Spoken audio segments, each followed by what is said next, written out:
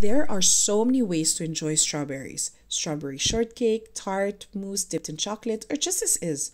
But a few years ago, when I first arrived in France and lived at my sister's, my nephew showed me his favorite way of enjoying strawberries strawberry and creme fraiche. This is the easiest recipe ever. First, wash strawberries and place in a bowl. Then, using a cocktail fruit crusher, you can also use a potato masher for this. Crush strawberries together until they're mashed. Don't overdo it though, you still want a few chunky strawberry pieces. There's something very satisfying about this crushing step. Add creme fraiche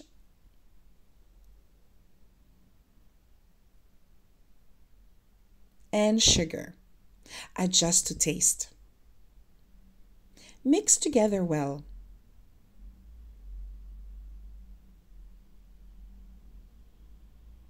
Refrigerate for at least 10 minutes. And then finally, enjoy.